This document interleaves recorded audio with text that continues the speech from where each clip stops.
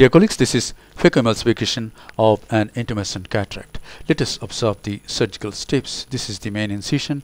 It's a 2.8 millimeter incision with a steel keratome. And now, this is a side port on the right side of the main incision and this is another side port on the left side of the main incision. And now, I want to stain the anterior capsule of this cataractous lens with trypan blue dye underneath this air bubble. And here goes the 0.06% trypan blue dye.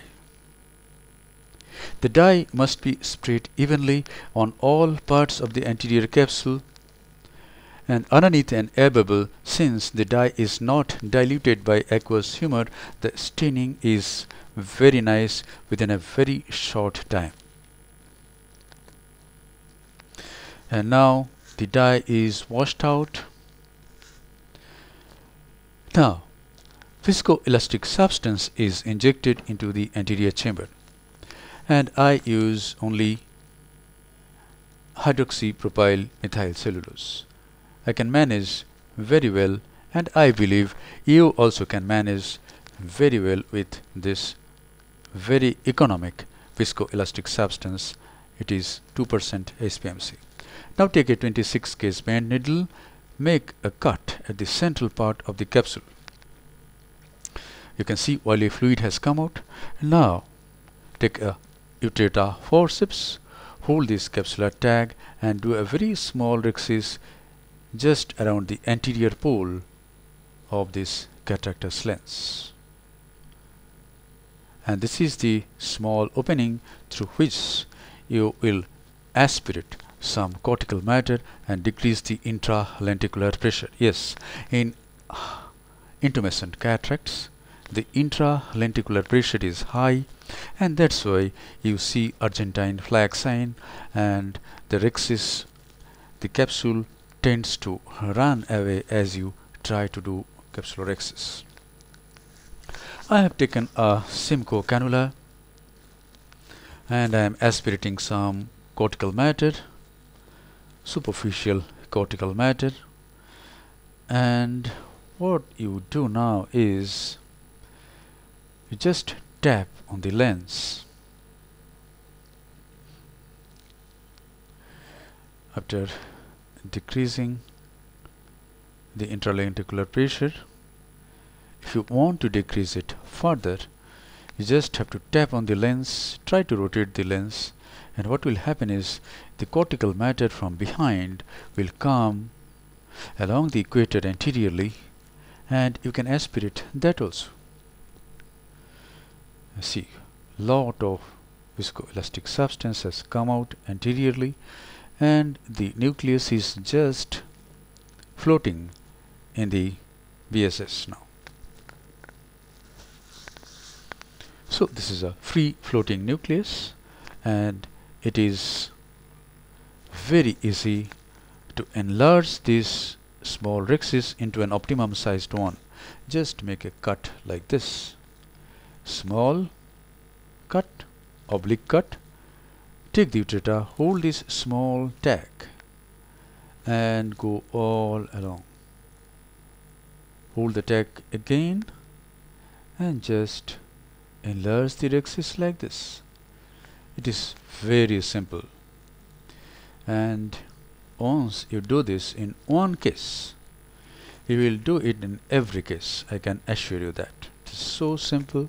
You can manage with very economic viscoelastic substance HPMC you don't have to put the burden on the patient of costly viscoelastic substances and now free floating nucleus how to hold it? The bevel may, may, should be sideways or it should be bevel down.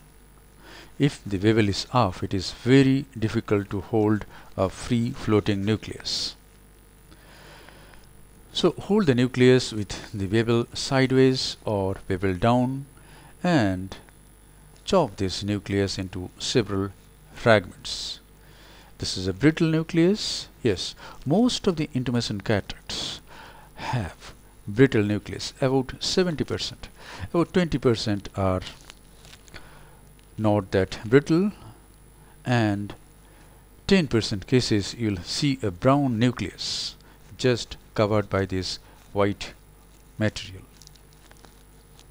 This is the last piece of the nucleus and this is the epinucleus and it is removed your foot control should be very good you must not use ultrasonic energy when nothing is there in front of the tip of the phaco handpiece. Now remove some cortical matter, very little cortex is there in this case. I usually use a 23 gauge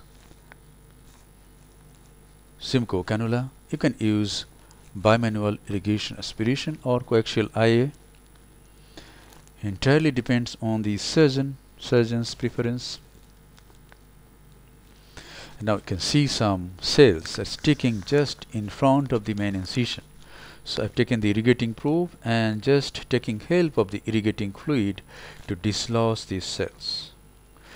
It is the safest way to polish the posterior capsule even in cap vac mode I have made posterior capsular rinse very little vacuum cap vac mode still but I have never made a PC rent with this. And now this is a hydrophilic acrylic intraocular lens being implanted keeping the AC formed by irrigating fluid. The lens has gone into the capsular bag and the irrigating probe dials the lens and places it in a satisfactory position. And now this is a bit of moxifloxacin. And now I hydrate the side ports.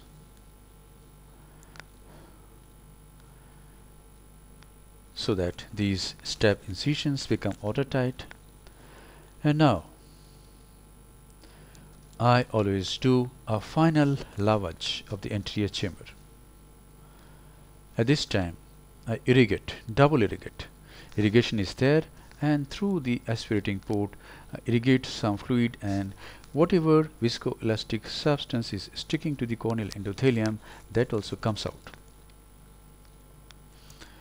Now I form the antechamber and conclude the case. Thank you very much for watching this video. Hope this video will help you in developing your surgical skills. That is my only aim to develop your surgical skills. Don't forget to check the integrity of the wounds.